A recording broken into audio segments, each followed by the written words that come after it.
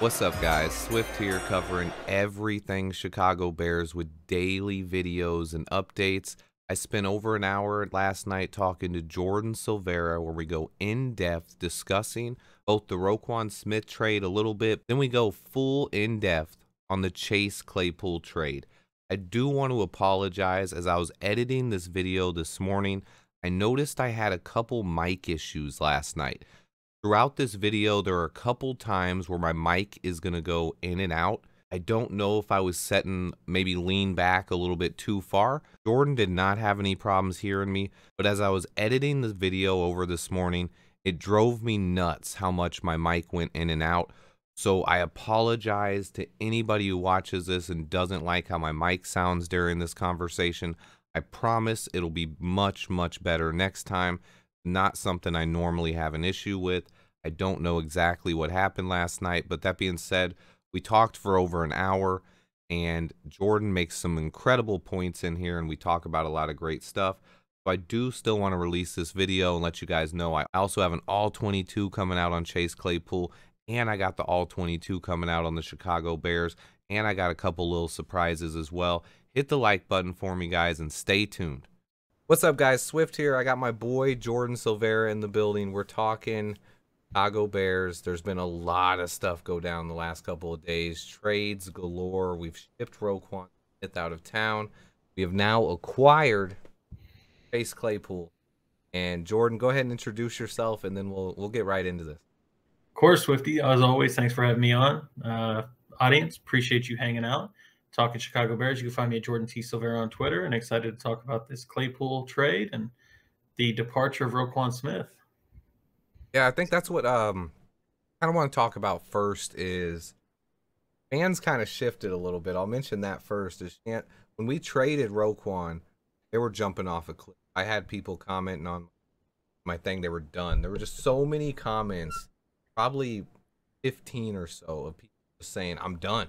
Like this was it like we traded away our best player. I can't do it. And then after we got Claypool today, those same people came back.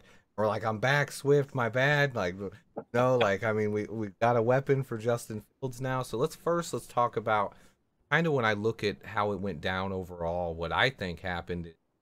Eberflus and Ryan Poles, they looked at the tape and what they have in Roquan Smith, and it came down to two things. Like, one, they didn't think they were going to be able to work out a long term deal with him what they needed. And two, I don't think he fit exactly what they wanted to do.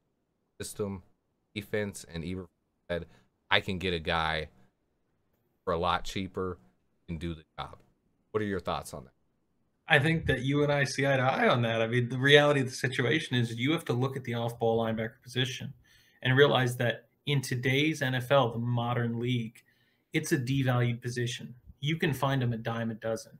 There's a reason you pull a Jack Sanborn in the UDFA class and he fills in and is relatively solid. There's a reason for some whatever reason you want to chalk it up to. Nick Morrow looks more competent in this scheme. He looks good. He looks good. I mean, you you look at Dallas. We just got done playing Dallas. Leighton Vander Esch, I know he's a former first round pick, but this is really the second part of it, and why I think I agree with you here, Swifty, is that you now have eight, nine games of film to review and this has always been, and I know I got so much shit back in the day because I was like, hey, trade Roquan for whatever you can get in the offseason. And people looked at me like I was crazy. I understand it's a personal thing, but I don't see where you can plug a six foot linebacker in a one gap downhill attacking scheme and ask that six foot linebacker to face guards and tackles and centers that are six three and outweighing them by 100 pounds.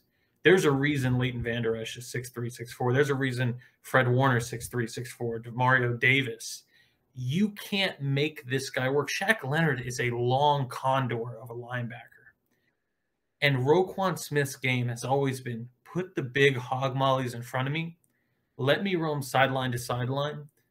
And then if I have a blocker coming at me, I'll juke him out and I'll backdoor the block. Or exactly. Can't That's what I've seen. That. I've seen it on tape this lot when I watched it, actually said it a couple times. Nick Morrow shows you how you should get a block, fill a gap in the mm-hmm. game, and then Roquan Smith get lost. He gets lost in the. He hits a blocker. He he's washed. Like there's no shedding that blocker. That's it's a losing business model, Swifty. You're six foot two thirty, and like Uh, this sounds like I'm a hater on Roquan. I'm not. Yeah, I was gonna say that too. It's not like because I, I kind of agree with you. What Jordan's saying is not that he's hating on Roquan. Just this system that Eberflus that position specifically have to play it a certain way. Also, the other like X factor turnover, forced fumbles, things that want from that position because they're they're supposed to be defense buds too. So you should be able to get those like everyone wants to say, well, he's the lead tackler oh right now. Jesus, so part is Blake Martinez. Part of the yeah, part of that is because of this defense though, and the position he plays, it puts him in that position. He's actually missed so many plays. Just the first drive against the Cowboys. I watched that last week. Roquan just nowhere to be found that entire drive. That burn on a coverage, washed on every run play. Just, I think we both think that Roquan, very talented. I think we both think that Roquan's very talented linebacker, gonna do very well in Baltimore. But I think this is one of those rare cases when because our team right now, we definitely could use weapons on offense. Roquan's fit on defense paired with him not being worth the contract or not being able to work out with Poles, just a win-win. I mean, because you have to consider this, Swifty. The reality is, not only are you hoping that you can come to a, an agreement on an extension, this guy believes he should set the market and his play shows nothing of the sort. How can I possibly sign a devalued position? You want to know what that looks like? Look over to the Indianapolis Colts and see what Chris Ballard looks like when he's all of a sudden assigning money to Shaq Leonard, who's not been playing, and Quenton Nelson, a guard who looks okay, Ryan Kelly, a right tackle. He's about to have to pay Jonathan Taylor. This is what happens when you decide to plant flag posts in the ground of this is a key financial investment I'm going to put it into an off ball linebacker that doesn't live up to the billing. And this is what I'm saying. It's I know it sounds like I'm negative on, on Roquan Smith. We can talk about what he's going to look like at the Ravens, and I think he's going to look very good. But I mean, one thing I'd love to kind of talk about a little further is I know there's, I mean, we can talk about Hogan Johns and a few others that love to sit there and say, man, well, this is a good sign that this is why you don't take a linebacker at number eight overall. And I completely disagree with that. I think context is important when you go back and look at the Roquan Pitt, Roquan Smith uh, draft pick, I don't have any issue with it. When you consider it was just off of getting your elite edge rusher in Khalil Mack, second year of Mitch, you've hired the new coach. Vic Fangio is the guy that Nagy's going to ultimately ride the coattails off of. And this is Vic saying the last piece I need to make this defense work is my off ball middle linebacker opposite Danny Trevathan, who's a lot more mobile, can go sideline to sideline, he'll let Akiem Hicks and Eddie Goldman eat the blocks, and then he'll fill and spill, or he'll spill and fill on it. And that's the last piece I need. So I don't have a problem with Ryan Pace because a lot of people are going to say, well, Ryan Pace screwed us again. I don't have a problem with dropping that final piece in, even at a devalued position.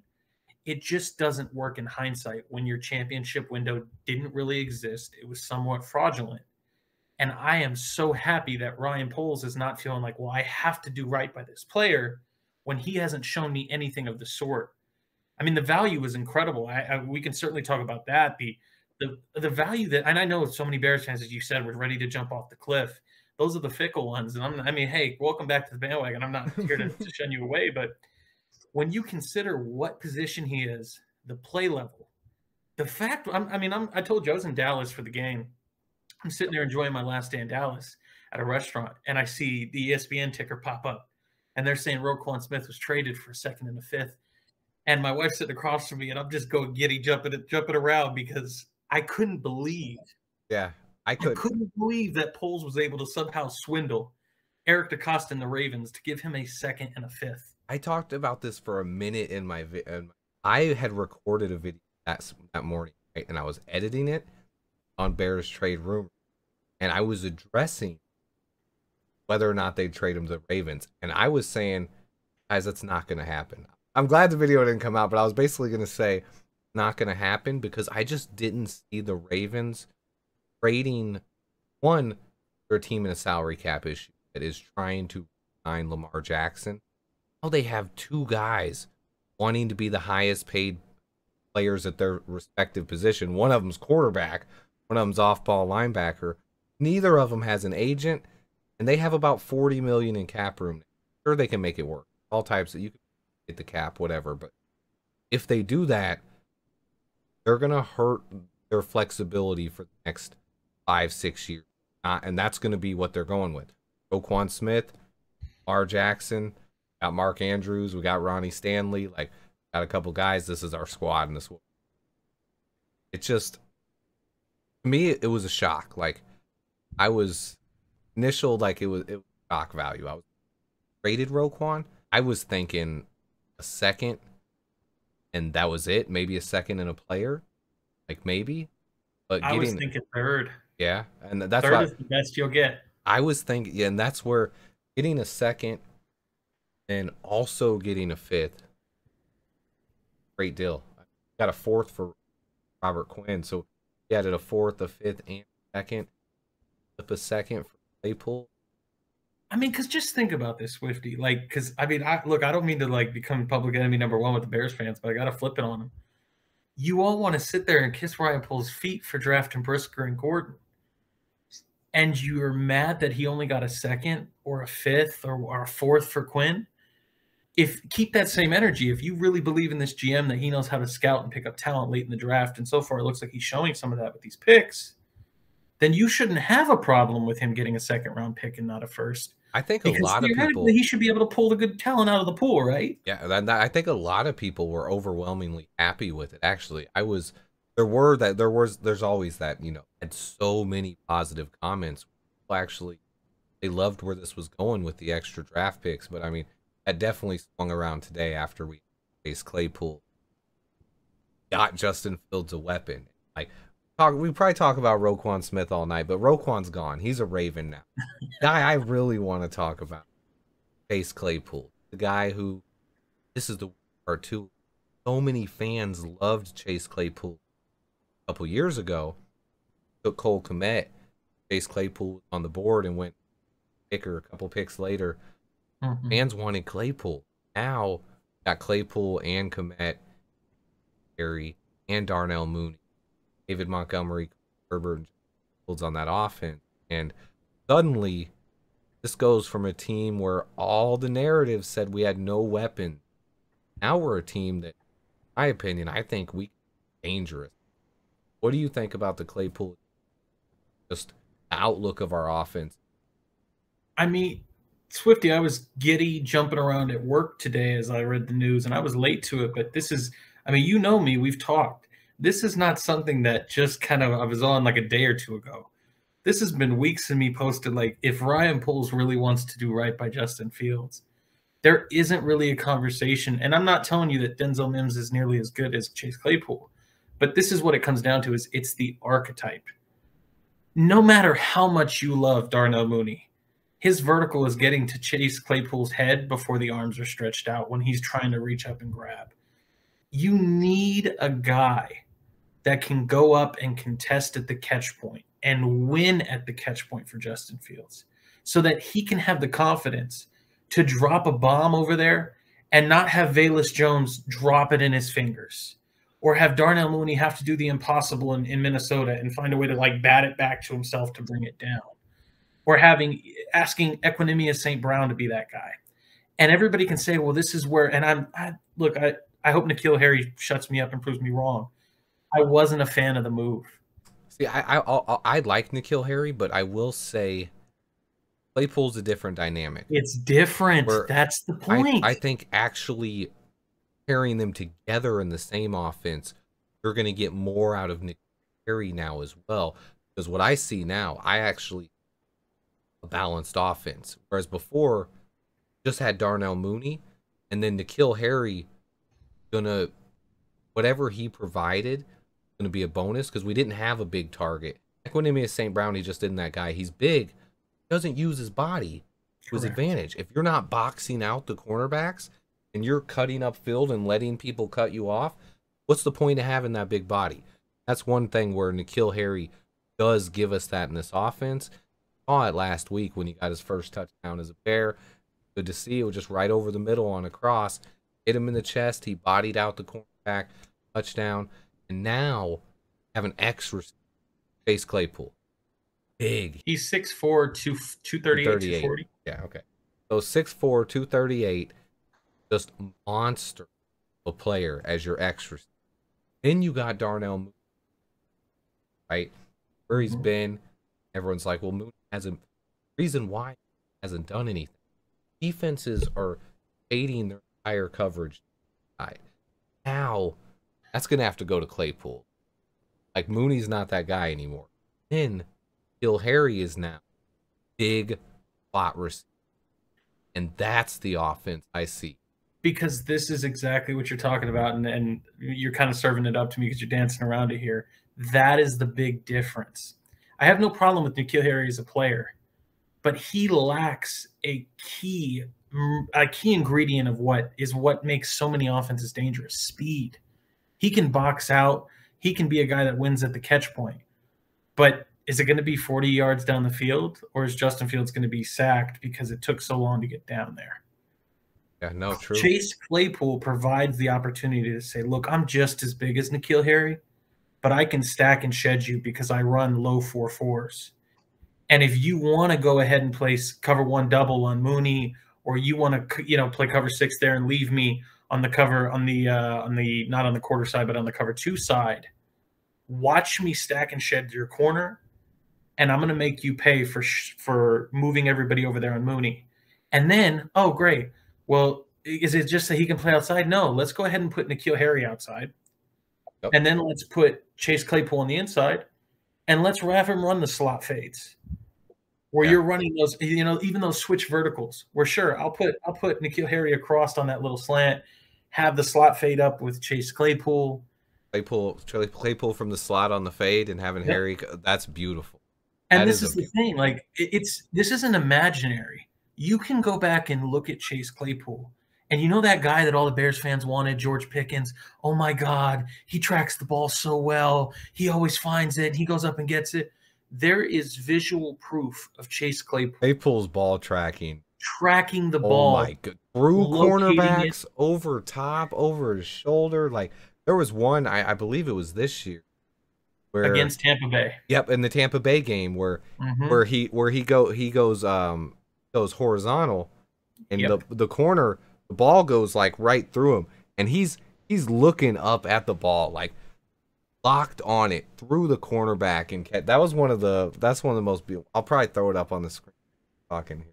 Yeah, I mean, there was one. I don't know if it was Mason Rudolph or Big Ben. It was a preseason game, and he actually ended up getting hurt on it. Not severely. Came back a week later, but this deep ball, and he tracks it all the way down, stretches out for it, comes down with it, recovers it through, catches it through through contact on the ground, ends up rolling his shoulder. Like this is the thing is when you're talking about Velus Jones being the guy, Mr. Butterfingers at the moment, who can't find a way to hold on to it. That's not this dude. It's I mean to me it's special and and and I understand that it sounds rich. I'll even placate Bears fans a little bit and say on a personal level, I was on record saying I wouldn't give more than a third for Claypool and it's because of, look, I mean, and we can talk about this is the Roquan, this is all the trades that happened today, most trades on a trade deadline in the NFL history. Trading in the NFL is fickle. You have Amari Cooper, who's a better receiver than Chase Claypool's ever been thus far, for a fifth round pick. He's also 20 million, but it's a fifth rounder. Why does Roquan Smith get you more trade uh, value or assets in return than Khalil Mack does? Despite the fact that Khalil Mack plays a more valuable position and is better at his position than Roquan Smith has ever shown you. It's because the NFL is fickle. So I understand and I can complain that damn it, why did we have to give a second round pick? It's a cup, but context is the key here, Swifty. Like, as much as I wish that they didn't give a second round pick, understand that Green Bay was competing for him. Understand that if you didn't get him, Aaron Rodgers was going to be was going to be dropping those dimes to this monster that's six four two thirty eight. I think that is a factor in this, and that's one thing that um, we, we spoke about this. Us having a view from around the NFL of our roster our draft pick being valuable, whereas the Packers still view could make a playoff run, even though we have the same record right now. That is the reason why I believe we got Chase Claypool. Obviously, I don't know if we'll ever know that for Packers were interested. I, I Mhm. believe that's I believe that hundred percent. Way too many reports out there that the Packers were closing it. You look at it from an outside perspective, it's kind of easy what happened. Kind of put the pieces together. He had the Ravens second round pick, could offer that, right? The Packers are offering their pick, we're offering the Ravens second round pick, head on, right? Like both of those teams are off team, especially if the Packers are pick valued higher. And I think that's why Ryan Poles had to make it our pick. That's why a lot of fans kind of switch base a little bit. They're they're not as happy that it's our pick, not the Ravens. But when it comes down to it, if we win a few more games, went out this year, our picks could be very close. Everyone can continues thinking we have a top five pick. Ravens pick's going to be in the 30s. You don't know that. I mean, if Lamar gets hurt or something, their pick could be way higher than ours. There's a lot that goes. Absolutely. And to me, it's that's just one layer of this. When you consider the fact that so many Bears fans, I, I think, are missing this point that we can talk about Calvin Ridley and the fact that he won't be playing until next year, or man, we should just draft Quentin Johnston in the first round, or X, Y, or Z. This allows you to get a rare talent, a rare potential archetype. There are not many guys that are 6'4, 235, 240 that run low 4'4, high fours, yeah. 4'3. And, and this is the thing Wait, is, and one I mean, more yes, point. like- Wait a minute. You know Yes. what Ryan Poles loves? You've seen his RAS score? 9.98. I mean, Ryan Well, Poles, I mean, you can't tell me Ryan Poles didn't see that. I mean, Swifty, this is the thing is, I mean, look, and I understand it's so easy to go, well, last year there was Alec Pierce and George Pickens in the second round. I was high on both. That was also the deepest draft class of all time. I understand Chase Claypool was there in the second round, but not every draft class has these big athletic X wide receivers there for the picking in the second round. It does it does happen more often. I mean, you do think I mean with Quentin Johnston in the draft and Cedric Till, there is a chance that one of those guys are there. But what you don't want to do as a looking at next and potentially spending a ton of money on a draft pick, hoping your quarterback going into third year can make a bigger step, be a playoff team. But at that point, you don't want to pigeonhole yourself going into the draft where I have to take a wide receiver because the free agent class is weak. That can't be overlooked right now. Sure, Ryan Poles thinks about the whole picture. That's something that a lot of Bears fans don't do, and they, I mean, they just can't see the whole picture. It's hard sometimes, but Ryan Poles knows certain spots in the roster he has to attack by next year, and he can't predict all the free agents are take it. When you look at the talent at other positions, offensive line, defensive tackle, edge rusher, it's all there. Even linebacker, there's linebackers, not guys. Maybe they're not as quite as talented as Roquan.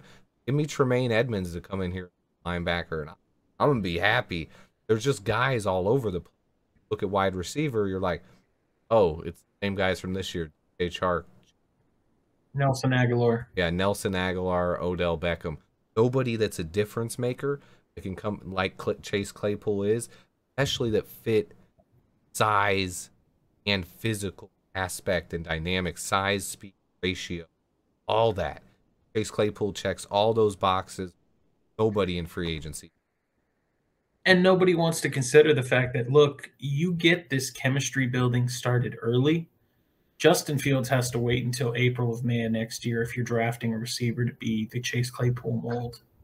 Oh, well, we should have got Calvin Ridley. Yeah, I mean, cool. He doesn't get to practice or even build chemistry with Calvin Ridley until next year whenever he's reinstated. And he's 29. Yeah, I mean, this is the thing: is you get the opportunity, and I'm not even telling you Claypool comes in and all of a sudden starts dominating. He's got an offense to learn, but that chemistry building starts tomorrow, and you just start stacking the good days. And if N'Keal Harry so can come back, and, that, yeah. yeah, and if N'Keal Harry can come back in two weeks and and catch a touchdown, what does it look like? And because this is the thing is, I'm not asking Claypool to learn the whole playbook. I'm saying, hey, it's a goal line fade. Hey, it looks like cover one. We're going to put you on the go route. You design just him a beat your man? package, yeah, you know. Hey, Got, a you just- package can you of just five to ten plays, yeah.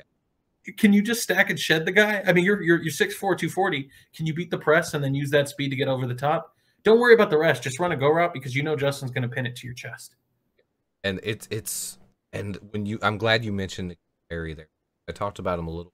I just, just believe the whole dynamic of this offense actually chemistry. That's what we have to look forward to the rest of the season. When Roquan got traded, a lot of people hopes were just kind of like, well, the season's over.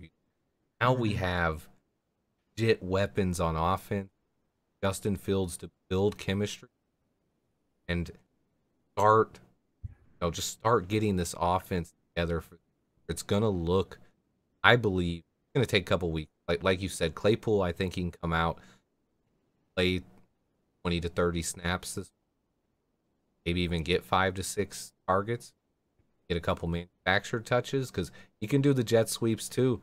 He can do all the things that Velus Jones can do, and maybe he doesn't have quite as fast as Velus Jones. He's bigger and more physical. He's got 25 pounds and about four inches on him. Almost as fast, like the 442, 43. Mm-hmm. So, what's your thoughts on not only how he fits in this offense, but what this offense is going to look like with Claypool out there? I mean, I'm going to give you a little bit of a because it wouldn't quite you wouldn't be having me on here if it wasn't quite a little bit of a Jordan Silvera theory, but and I'm not here to to rain down on the Chase Claypool stuff. I think we've you know talked and and waxed poetically about him for a while now, but I I will never call Chase Claypool a wide receiver one for just a real quick definition. To me, and it's very subjective, but to me, a wide receiver one is a guy. It's Michael Irvin is the perfect definition of it, a playmaker when I absolutely need you to go get me a bucket, when I need you to win, it doesn't matter the circumstance, doesn't matter the route, doesn't matter the situation, doesn't matter the, the weather, the time of the game. You will always find a way to come down with the ball for me. That's a wide receiver one. And I love Darnell Mooney, hasn't shown me that. I'm not even ready to tell you that Chase Claypool is that, but this is the the weird strength there I've got kind of going on here. I will certainly concede I'm not sure that Chase Claypool can't be that because I don't think we've seen him with a guy as dynamic as Justin Fields at quarterback because it was the end of career Ben Roethlisberger. But right now, I do definitely feel confident in saying Chase Claypool to me looks like a wide receiver 1.5. Okay. Just like I can honestly say Darnell Mooney is better than a wide receiver two, but he's just not a wide receiver one for physical limitations. It's also he's kind of like a 1.5. I think it goes with like what the offense is. Like there's prototypes. There's mm-hmm. can you be the number one weapon in this offense? have success. And what Chase Claypool like to me this offense, our number one wide receiver. Whether yep. or not that's whether or not his stats are going to compare to DK Metcalf, who cares? But guy who come in, be the extra. I mean, he's a guy who stretch get hundred targets a year, stretch the field, four double-digit touchdowns. He has all that potential, and he's a Chicago Bear. And man, I'm because this is what it is is that if you have these two guys that are wide receiver 1.5s and i know that's like it sounds cutesy and gimmicky but i'm not trying to be but you have this situation where you have one guy that's a physical freak mapletron as they call him because of that size and look he's not going to be mr super shifty dante pettis darnell mooney because of that weight and that size to be able to do all these multi cuts violent and physical Ryan physical, said it too. Violent, yeah. attacks the catch point, goes up and wins you balls, and he can stretch the field, which is what Justin loves. Let me go ahead and drop and pin that ball on your chest. And then if you want to go ahead and roll your coverage to him, I'm just going to go to Darnell Mooney, the guy that put up a thousand yards with the with the shell or the husk of Allen Robinson last year. That's what the, I, I think fans don't understand. How much better it's Darnell. Because when defenses pay attention to a guy and they can't roll coverages to, Mooney's mm-hmm. proven his chemistry with Fields is only gotten better. Mooney's a guy who's going to damage. Well, because this is the thing, Swifty. What does it do for Darnell Mooney if he doesn't have to be the X? If he doesn't, I mean, this is the thing. Like, it, it sounds like, oh, I'm so down on Mooney. Mooney actually does a great job, despite his diminutive size, winning at the catch point. Oh, yeah. I mean, he had He's one impressive. Camp. Yeah he had one at the the fan fest where he, he like just straight up mossed oh, yep. dude. Yep, I remember that one. Yep, it was yep. on the sideline. Yep. Yeah, and he had he had obviously had the one in Minnesota where he's just mossing the guy. So he can. I mean, Terry McLaurin. I know it's a separate topic, but he had one this week where he's just like, "This is my city," and took it over the Washington corner. That's what Darnell Mooney can do, but it's different. You don't want like, to throw. You don't want to rely on the Yep. Claypool's the guy. They're not always going to be one handed and look like that because he doesn't need to do that. When Yep. Mooney goes up and catches something like that, he's only 5'10. So, like, got to do that. Whereas Chase Claypool can just go up and catch it like this. Well, that's why I was making the joke to you. Like, as much as Darnell Mooney wants to jump, he can jump as high as he wants on a vertical jump, and even with his arms, his his arms stretched out, he's maybe an inch or two above Chase Claypool's head. Like, And yeah, The problem. Claypool. And so, what is it? What does it look like when Chase Claypool's that guy, and now Darnell Mooney can win you some of those balls that he does from time to time, but also can be that shifty Z wide receiver that he is much more naturally a fit of. that's where I believe the X factor then of the offense down to if N'Keal Harry can provide do.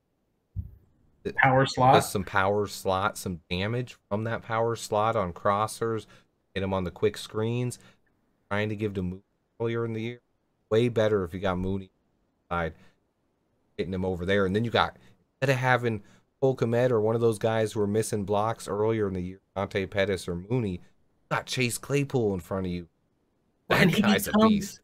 He becomes that he being N'Keal Harry becomes that condensed receiver that plays in that Cooper Kupp role where he's so close to the line of scrimmage.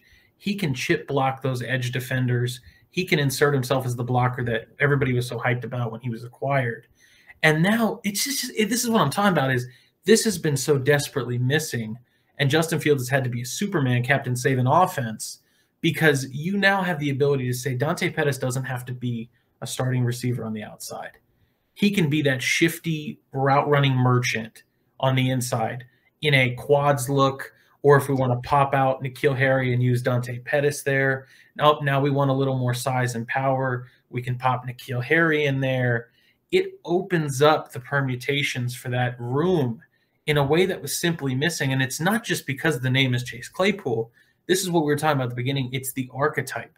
They were missing a guy that was six four. Whoa, N'Keal Harry six four, but a guy that's six four that has the true speed to take the top off. You have to be able to take the top off the to defense. Yeah, that's not what N'Keal Harry was doing. What N'Keal Harry was doing, dynamic big slot receiver, but he was actually having to play the X because have an X.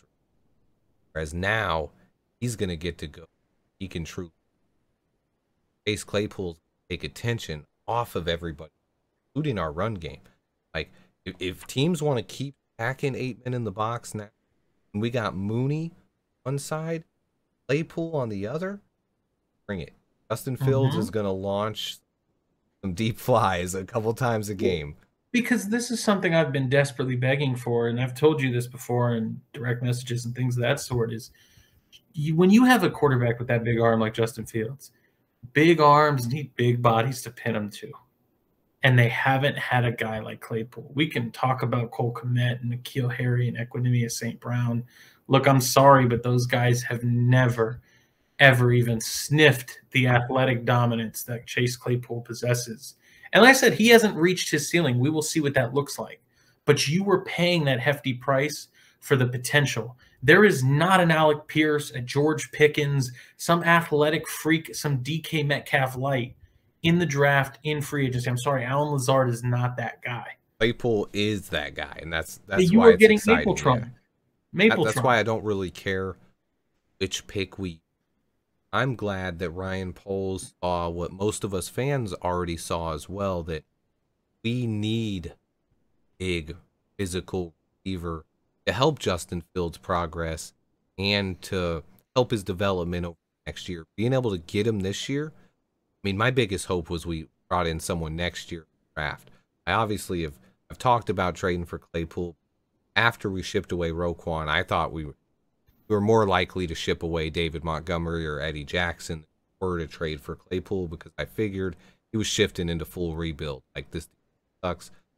Go ahead and rebuild. But what he did is they brought in a linebacker that I think I think AJ Klein they might actually have plans to play him. They think he could be on this team. I'm hoping Sanborn Weatherford gets yeah. But I mean that's that's well, the biggest thing. I mean Claypool is that guy. He scratched off our biggest need, in my opinion, going into the offseason. Now we have other needs yeah, we need some talent on the tackles, and we could use talent on offense. It gives us time to evaluate the guys we have here. Can Braxton be that guy? Can Borom be that guy?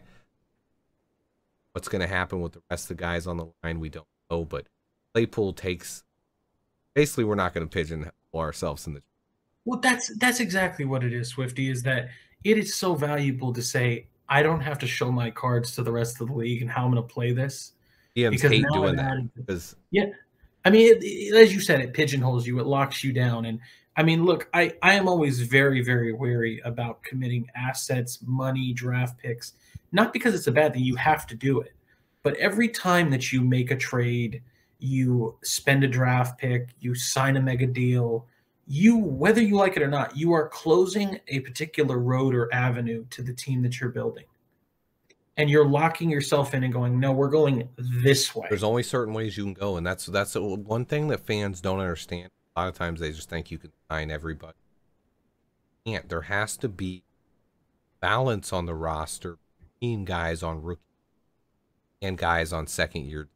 When you pay the big contracts to people, just like you said, you're you're eliminating your flexibility for the way you build your and to me, if I was a GM, thing I would want going into a build is I, I want a quarterback I'm in love with. I want flexibility. And those are two things that we have right now. And I know everyone's going to want something different. Like some people are going to want more draft picks, or some people are going to want, you know, the cap space. We have the cap space, have some draft picks. We don't have as many draft picks as the Lions or some of these other teams, but we have the quarterback.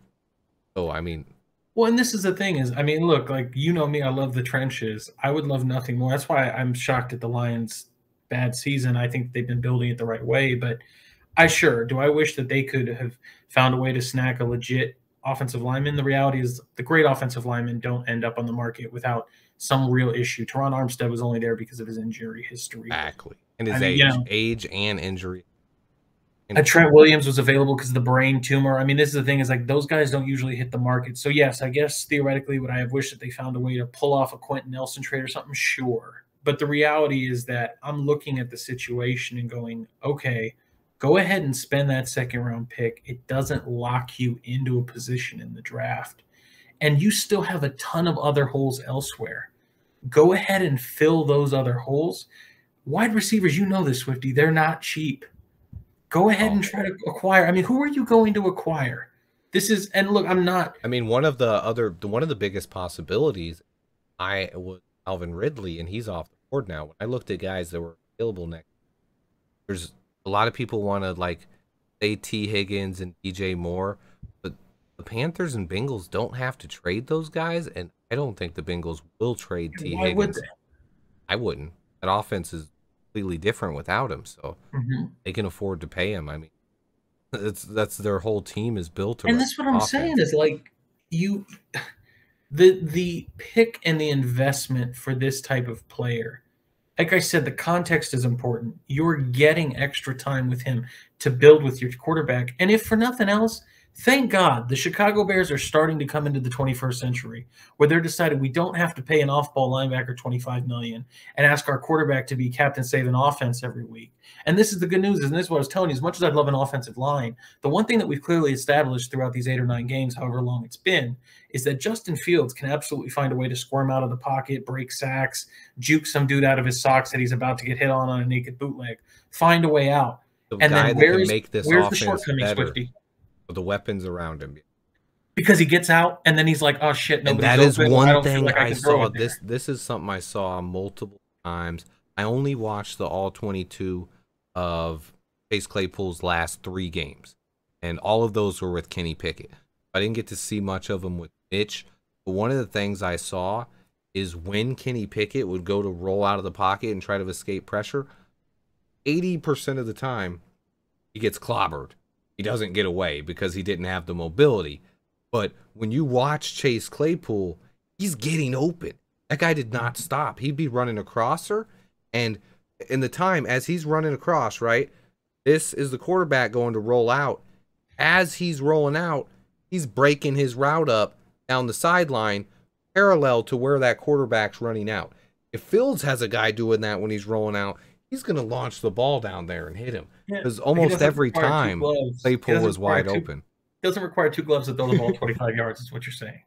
Um, he's not like Scary Movie 2. This is my strong hand. So, yeah. yeah, I mean, I get it. And this is the thing is I can watch, I've seen it. It's on tape. Justin Fields can escape all that pressure.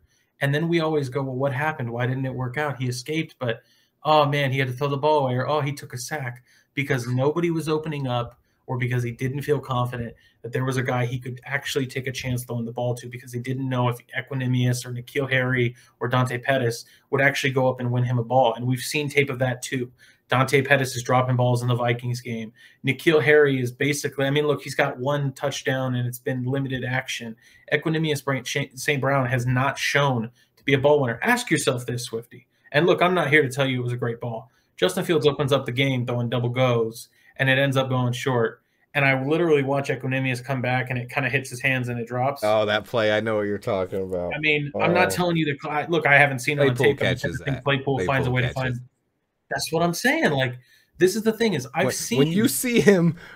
I mean, when you see a guy that can do, and he'll he not only done it once, but I've seen him do it two or three times where defenders facing him, and he plays the defender to make him think that the ball's going high, and then last second he shows the late hands, the body control. Like he's he's in positions where like he's literally parallel to the ground as he and, and he's looking up like this as he's falling. Like it's just something you don't see often from receivers. A lot of times you see it like Velus Jones. Some guys just don't have that coordination, and when they go, you know, it's just not there. And Claypool's a guy who has elite body control, well as athleticism, speed, well, physicality, and he's violent. He's bursty. Oh. Like that's the thing is he's explosive.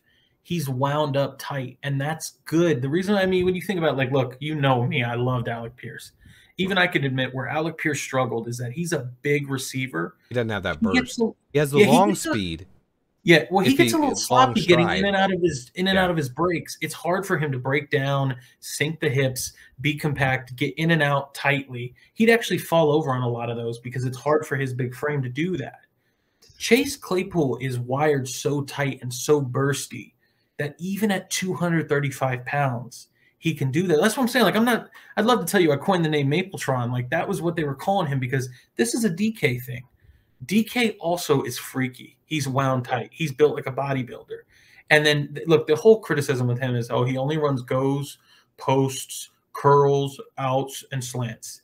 And then this year, he's running the entire route tree because despite that heavy, big frame, he is wound so tightly that he can break down, sink his hips, you can sink your hips break. and move like that. It's just it's an ability that special.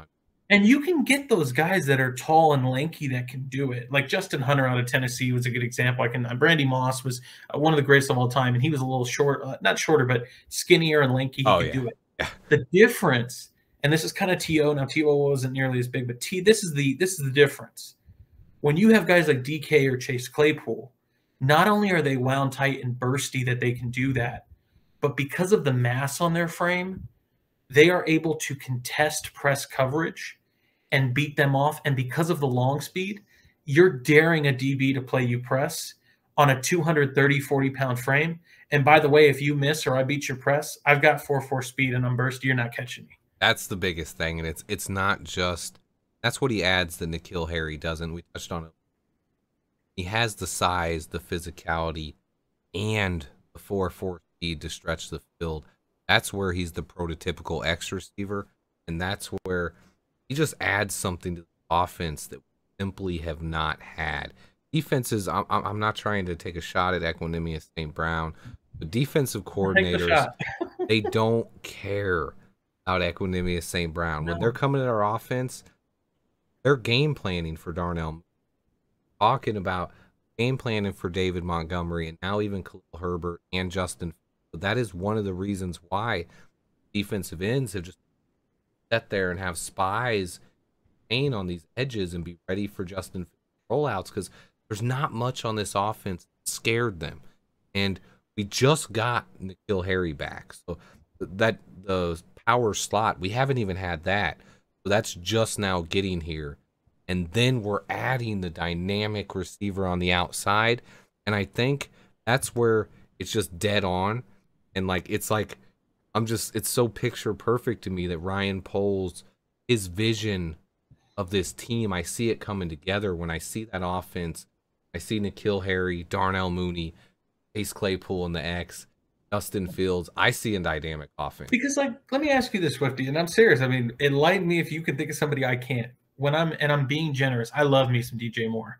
When you think about who else was out there in the trade market, potentially in the trade market, I think the only other two guys I would consider that were built like this, and they're still not this. This is what I'm saying. Claypool's a little different.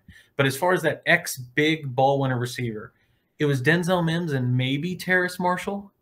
Yep. Like who else were you potentially going to trade for to fill this role? And I believe that too because the people I mean there there's the hypotheticals like the Tee Higgins that I've already said not happening.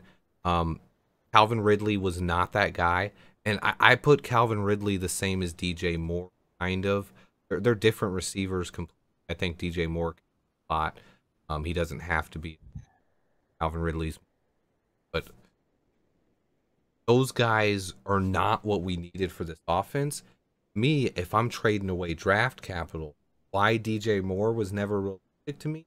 Because I'm not trading away draft cap for a guy that doesn't change the dynamic of the Thank offense.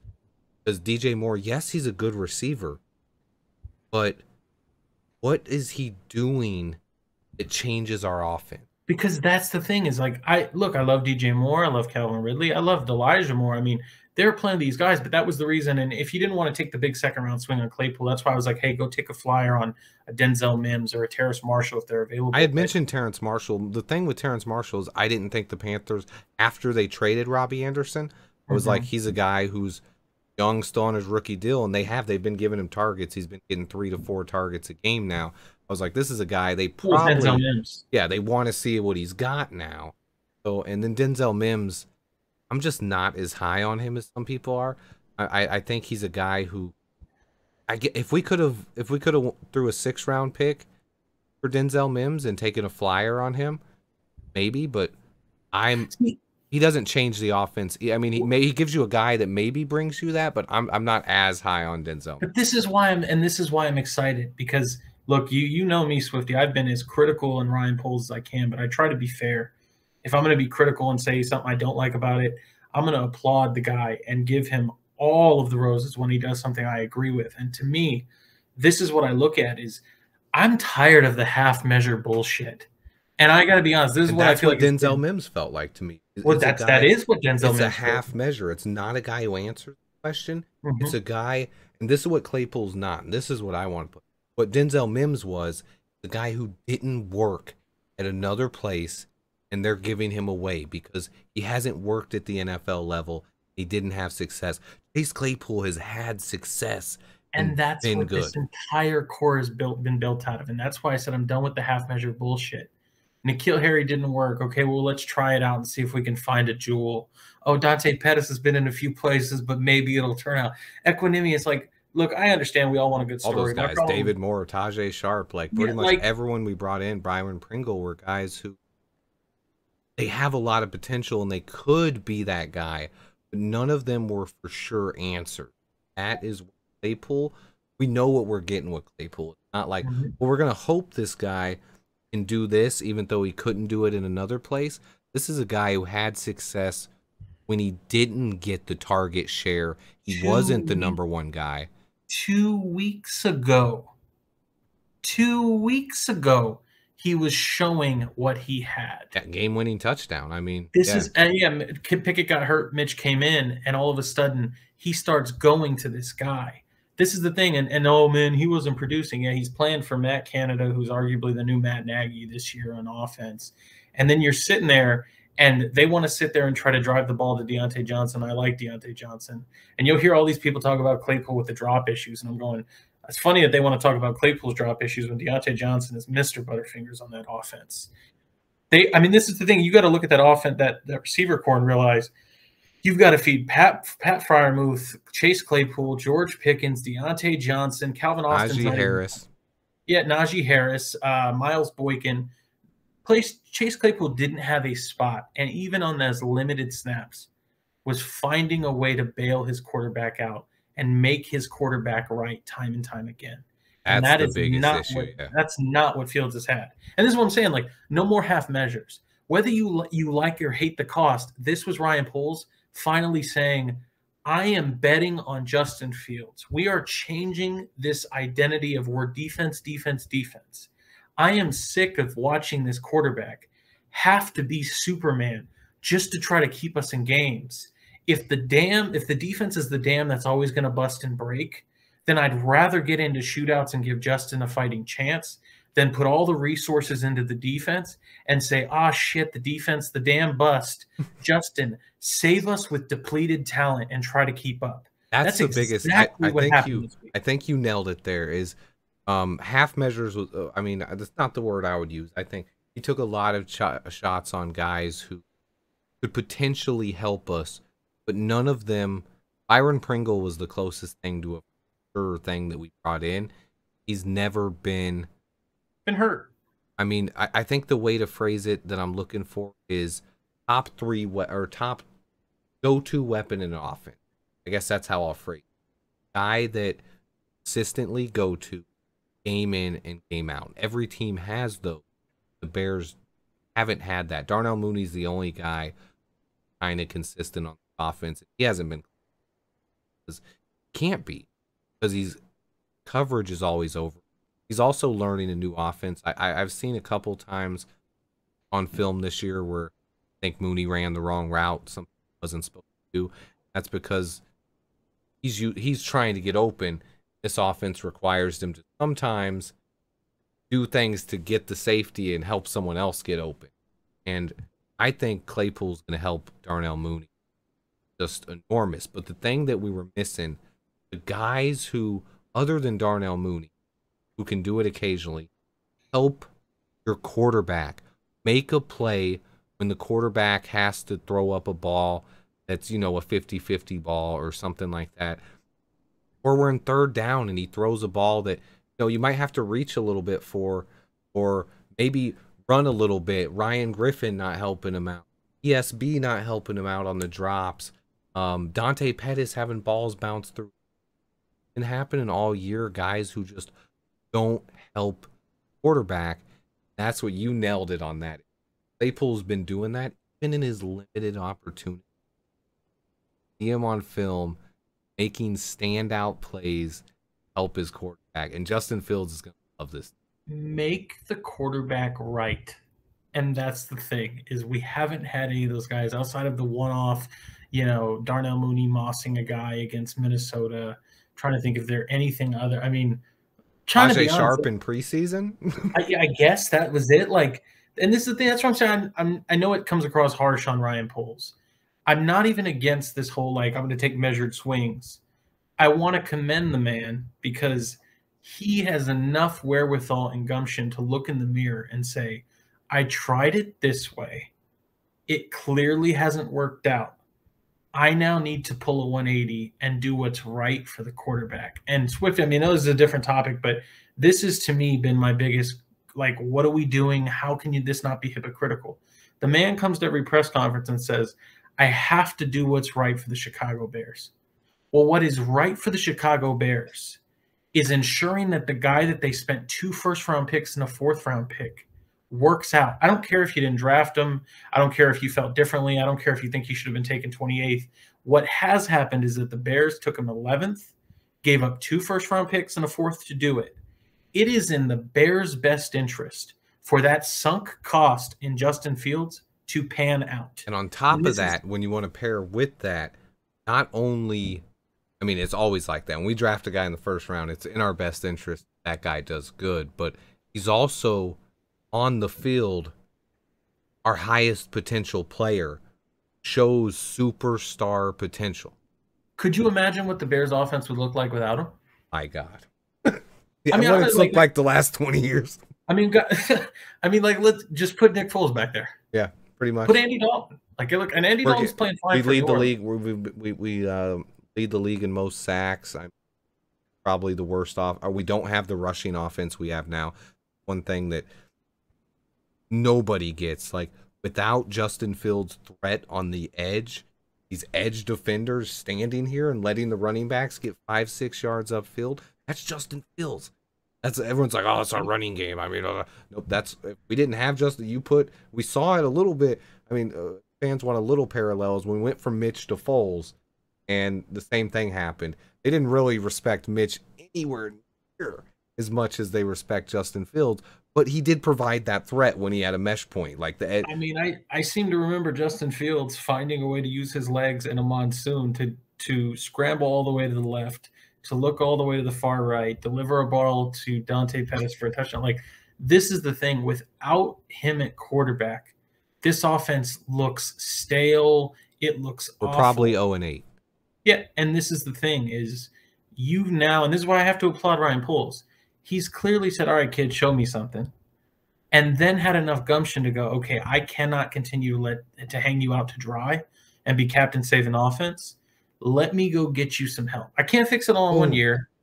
I can't. I can't look. I can. I can find you Braxton Jones in the fifth, and I can try to piece together, you know, moving Tevin to guard, and I'll try to get you know Lucas Patrick, Patrick here, and Schofield and Reiff is yeah, like, veteran option and then he would i think he had to realize is i can't and this is the thing and i understand a receiver is more than one position too but it's harder for me to solve five offensive linemen when i've got maybe two that i think are probably good in braxton and tevin and i'm a big Borom fan but he hasn't looked very good this year looked. so i can tr- pull a trade for one of them but you're still going to have even if that one looks solid let's just say they they they trade for dalton Risner. they're still going to have at the very least two very leaky offensive linemen that Justin Fields has to always worry about guys coming through on.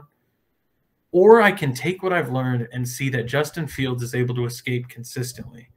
And now I just need to get him the missing piece that allows Darnell Mooney to function a little better, that allows N'Keal Harry to function a little better.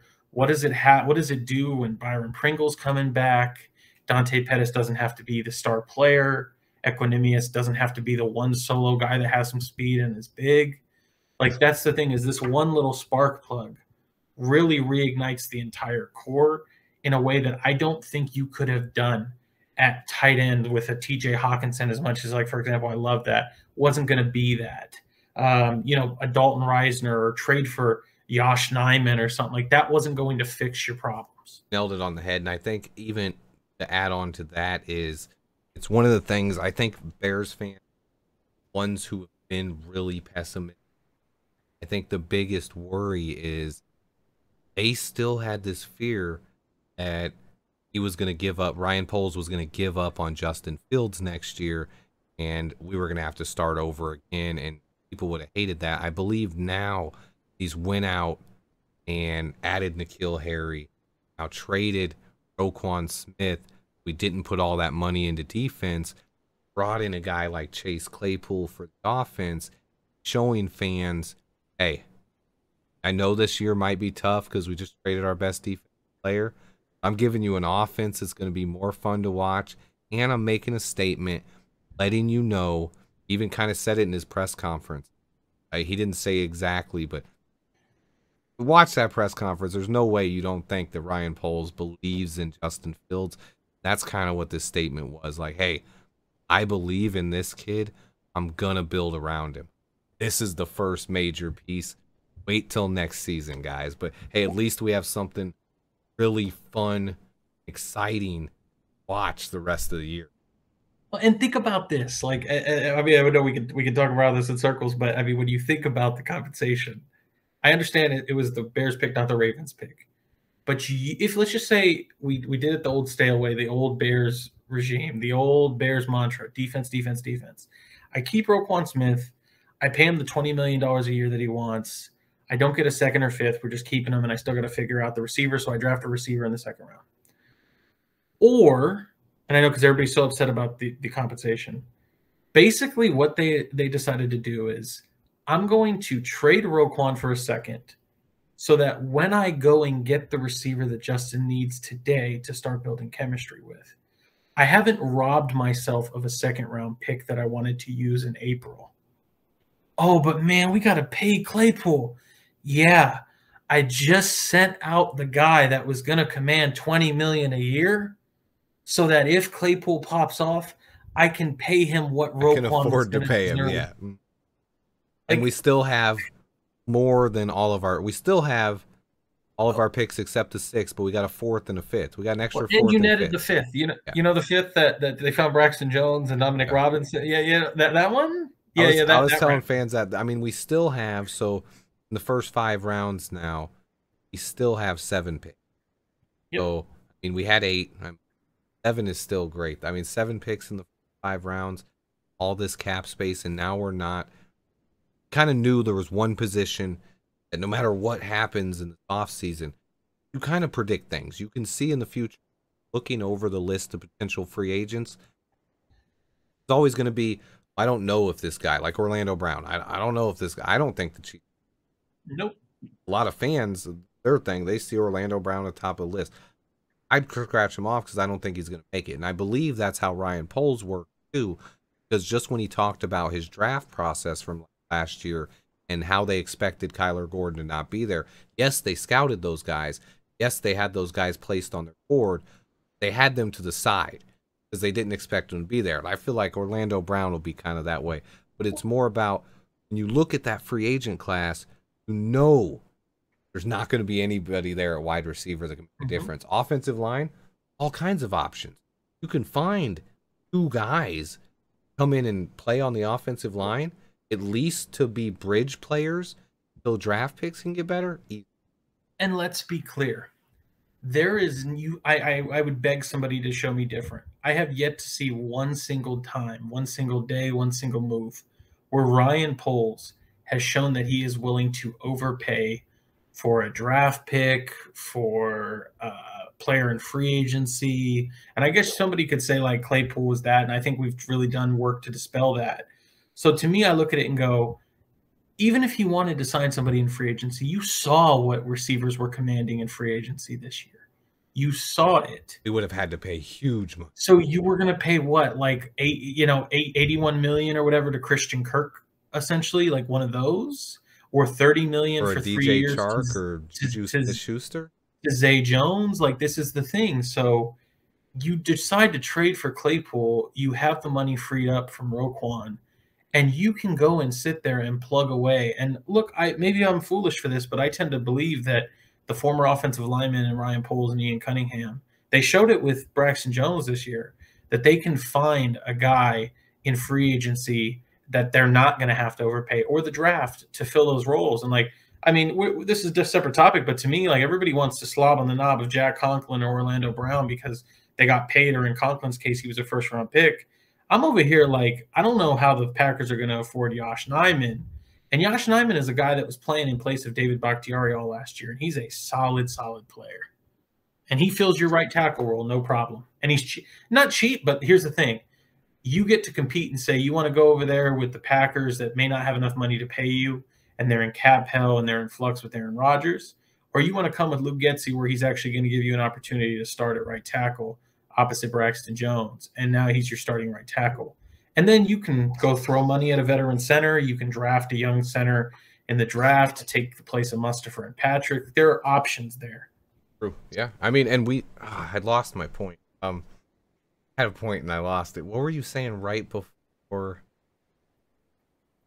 Oh, the, the wide receivers are so freaking expensive. Like this is the thing is, I can't sit there and tell you that you should. I've never seen them overpay for anybody. So what was he going to do in free agency? And that's another thing. Like people think he's going to spend There's all something right around. There it is. Okay, no, I got it. I got it. Um, that you nailed it on the head there. One of those big points is how Ryan Poles value players, building the entire roster, not overspending on things just because he gets in his head and he likes it. That was Ace's biggest problem. Consistently overspending in free agency, overspending draft, which is something my biggest pet peeve in the world because I'm a I'm a draft for value guy. I'm a guy where take a guy for value. If if there's not a guy right there on top of your board and you think you can get a comparable guy around, you trade down and get extra picks. Ryan Poles was a guy like, I love this guy right here, even though John Watson's on the board, Patrick Mahomes are on the board. I'm gonna trade a whole bunch of picks. This guy is probably gonna be here anyway, so I can move up one spot, make sure I can get him. And I'm gonna do the same thing for Anthony Miller, and he's just throwing picks around and just has no no semblance of like what value it. And that's where I trust Ryan Poles. I love what he's able to said it. We don't know everything he like when building the roster, right? We're we're not inside his head. We don't know the whole picture, but what he's done this nine, eight, you know, eight months, whatever it's been since hired, um, a lot of it fits the way I would want to build this. Um, guys he's bringing, not necessarily always the order he does it, but when you look at the kind of players he and things they do roster, beautiful. My last point is going on to your other point, how he flipped offense. That's another thing that fans didn't want to give us any credit for hiring a defensive coach. Everybody wants to hate on a defensive coach. Let's give our defensive coach a chance to bring in players, play his defense for a lot less money. Let's see what kind of defense that guy can build. Let's spend money to bring in big talent on the offense, and I have a lot of faith in where go in the next couple years. I mean, because this is the thing, and like I'll just give you an example name, but Leighton Vander Esch is a guy that was drafted in Dallas when Eberflus was there. It was the year before he took off to Indy, if I'm not mistaken. He's on a one-year retainer deal with Dallas. That's a big, long, lanky linebacker that you can probably get for about one year, six, seven, eight million. Anthony Walker will be back on the market. He was the middle linebacker for the Colts when Eberflus was there. I mean, you can find a Nick Morrow, like I said, who's played to at least about the same as Roquan Smith for a fraction of the price. And this is an opportunity for them. And and you know this, I mean, because you're a draft Nick guy. There aren't wide receivers always deep, especially in this age. I'm not here to tell you that you don't have a lot of wide receiver options in the draft, but there are significantly in this draft at least more options with edge rushers and D line and offensive line than there are with receivers. With I mean, corners a pretty stacked option, but in I mean, free this agency is, as well. I mean, you couple them together when you go for want to go ideally what the GM wants want to fill your holes agency and attack the draft best player available. Obviously there's always going to be give and take in that. Have mm-hmm. some guys that are younger, some spots that are question marks, but if you can bring in when he can bring in some big talent free agency, not pigeonhole himself in the draft, gonna gonna be better for our team. That, that's what I, I just want to see a lot of talent brought in next year, and let us let him go into the draft and back it. Well, because this is this is I mean, like we, we we touched on this a little bit, but this is so important to me. Is as I said earlier, when you decide to make particular moves, you are signifying and planting a flag in the ground that I have closed off this road. We're going down this. And this is why I'm so happy is he guess he could have planted the flag on Roquan Avenue and said, "This is how we're going with our 20 million, and this is who's going to be our guy." And we can talk about whether he deserved it or not. I don't personally think he did, but what I saw is a guy that said, "Look, I know what he means and all that, but I'm going to turn that over there, open this avenue up, and then I'm going to declare and put a flag in the ground for Chase Claypool and Justin Fields." And at least, again, as me as a fanalist, my opinion means not much, means jack shit, not much of anything. But the reality is that I would much rather see the Bears built with Justin Fields in mind, and with Chase Claypool and money being pushed to the offense, because we have over a hundred years of money being pushed to the defense. And we've seen and it sadly, obviously isn't the way to go. No, it obviously isn't. Especially into and, and now the even more than ever, how offense which to take advantage of that, it's harder to specifically well, through need is, an offense and a defense. Well, and this is the reality, and like nothing's changed with the whole defense wins championship mantra, but this isn't this isn't me pulling it out. I mean, you can go look at it with the teams that have been the most successful over the last, I believe it's three, four years, maybe it's even longer, five. They all the best teams in the playoffs always have a top five offense EPA wise. and that's expected points added. And this is, I mean, this is why is that? It's because they have guys like uh, Josh Allen, Patrick Mahomes, and guess what? And I guess in Patrick Mahomes it's a little different, but we can talk about Jalen Hurts this year, the only undefeated team left, and why is his meteoric meteoric rise? Why has it happened? Because, and I, I look no further than Brandon Beane. Brandon Beane to me is the model example citizen of a GM that surprisingly took the Bills at around the same time that the Bears were at. They had to ship off a Marcell Dareus, a first round pick, top top 10 guy at a position and send him off for pennies on the dollar that many people thought and traded Reggie Ragland and other players like that. And you saw this position where even he realized he tried to put a, a garbage receiver core around Josh Allen. John Brown. And then realized, yeah, and then realized I have to go get my quarterback a legit weapon. I gotta go get on Diggs. And when you look at that, I mean, he did that. In, they traded that in the offseason, right? That wasn't a midseason. It was yeah, it was right before the draft. That's what Yeah. ultimately got. If he uh, would have waited, he could have got Justin Jefferson. But Yeah, I Um, understand, but like, but this and this is the thing is you we can always say what if, but I will certainly take the proven product. taking the chance. And what he did there is say, hey, I could possibly get a guy in the draft. But when you take the guarantee, the different Diggs was a little bit older. I mean, Claypool's getting him at 20. He hadn't even hit prime yet. It's perfect. But I think you nailed it. And my, my last point, I think, is when you look at the overall roster, how you're building roster, I know you think about this a lot like I do. My biggest fear going into next season was just that we would go into the draft pigeonholed that we had to take a wide receiver. I don't feel like there's another position on this roster where that could happen to. I think when I look at the roster, what I think we definitely would need for next season, start starting calibers, free technique, and then a couple linebackers, but not, and then some more talent on the offensive line. Figure out where that's at, whether Jack Conklin at right tackle or want to get a guy at left guard or you want to get both. You can, you can address those in free agency and in the draft. Whereas getting a number one wide receiver, we would have had to have taken him our first pick, maybe our second pick. That was it. Those were the only avenues that we had to address that. Whereas the other positions, you say starting center, we could probably get a center in the third, fourth, three, maybe even fifth round. Um, Honestly, I mean, I and this is where I mean everybody loves John Michael Schmitz out of Minnesota, and look, I, I like him.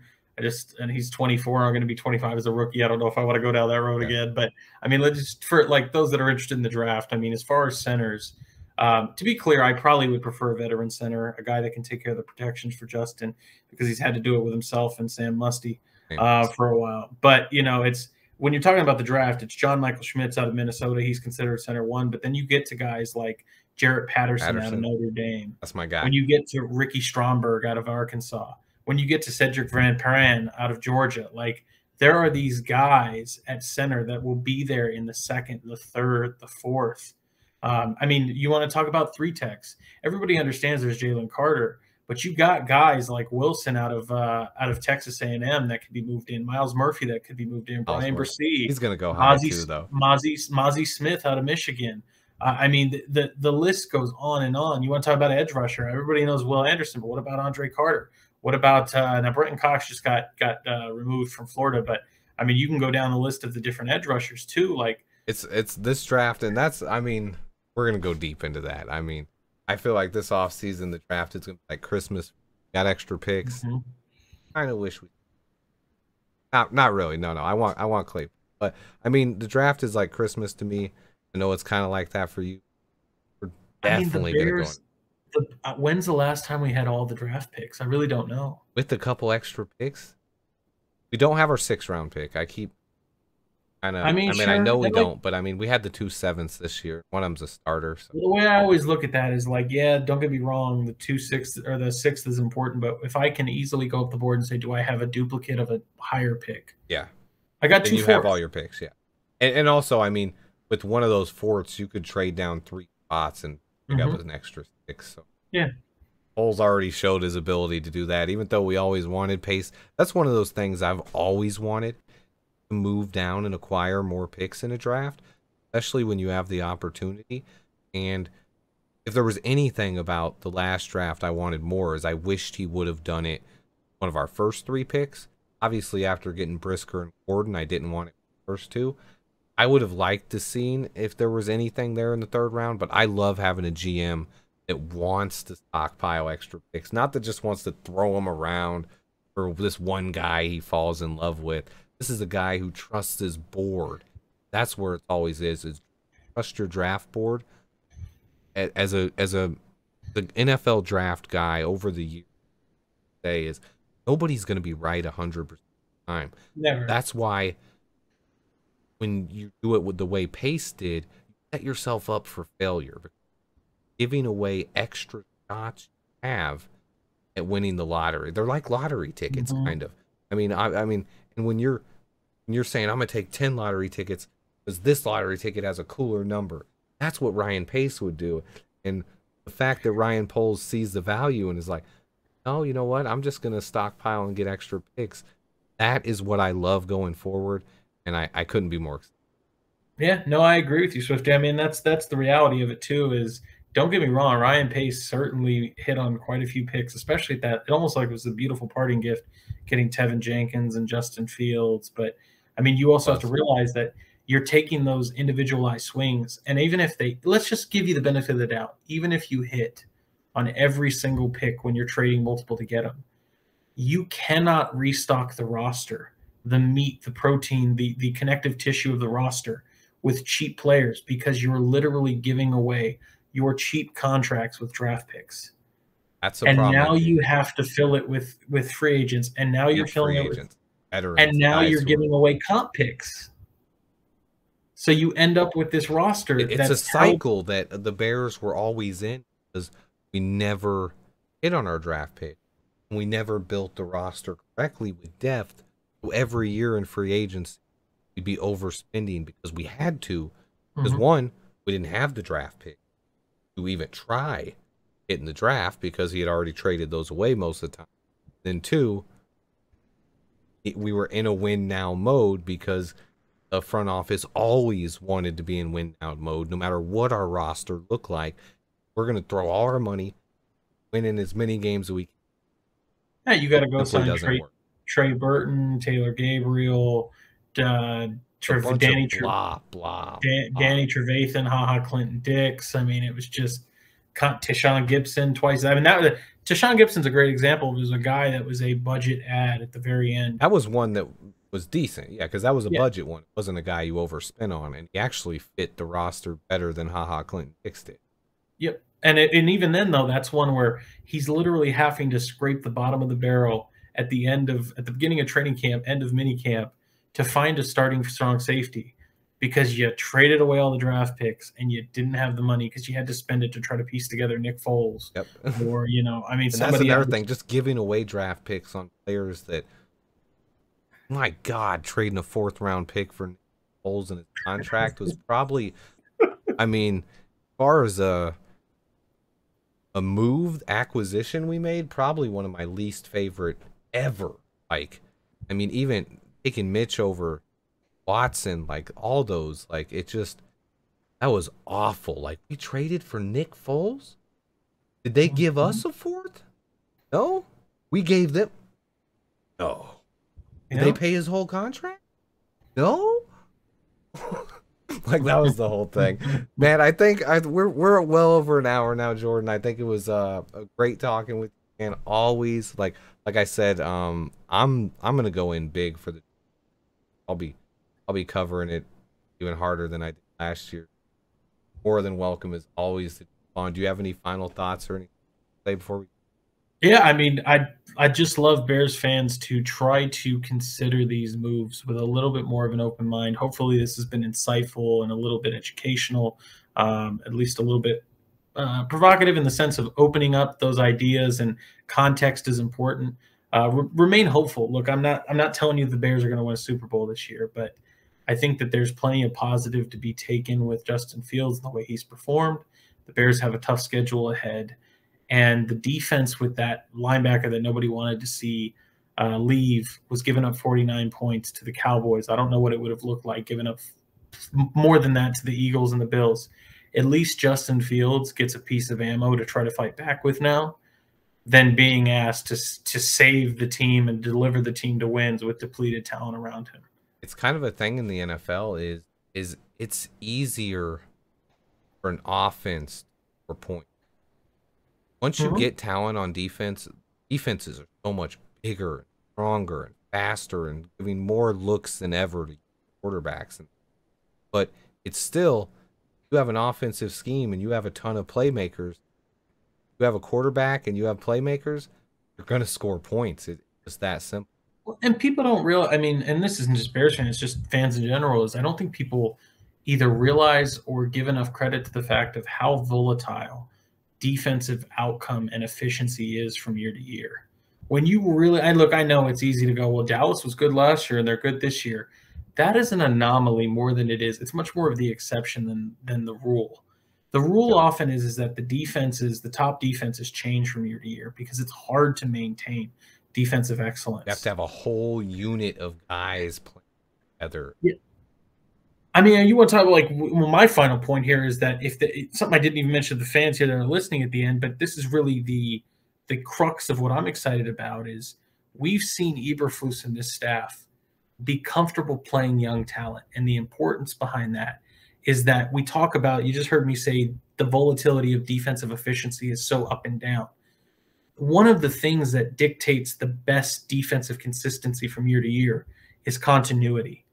It's why the Bengals, look, I understand the Bengals had a hard night the other night, but it's the reason why once you're in year two, year three of Lou Anarumo's defense, or it was Matt Eberflus year so and so. Why is Leslie Frazier and the Buffalo Bills defense so good? Why did Jordan Poyer and, and Micah Hyde look so good together? That continuity. Why did Adrian Amos and, and Eddie Jackson look that good? Justin Simmons, Kareem Jackson. This is what happens when you build that continuity and you now have Eddie Jackson maintained. He wasn't traded away. You have Jaquan Brisker. Those two get to grow together. Kyler Gordon and Jaylon Johnson, if he's retained. Kindle Vildor you are building this defense up with con- with continuity and connectivity in a way that you don't have to invest year in and year out to get a consistent model because they all know the language, they all know how to play together, they understand all of the different tags on defensive calls that you don't get with other schemes. That's killer, man. I love it, Jordan, man. Um, I'm I'm excited. Um, final thing, Chase Claypool, welcome to Chicago. I think we're all super excited to have you. Justin Fields probably number one. I mean, got himself a weapon now. So national media, what's the narrative now that Justin Fields has a weapon? I don't know what's. Mapletron, welcome to Chi City, baby. Bear down. Hey, bear down, Jordan. Always great talking with you, and I love your knowledge. Always a great guy to talk to. Till next time, guys. Bear down. Bear down. Thanks, Swifty. What's up, guys? Swift here. Cover. Oh, that's not it. It's just my line normally. Swift here covering everything Chicago. Okay.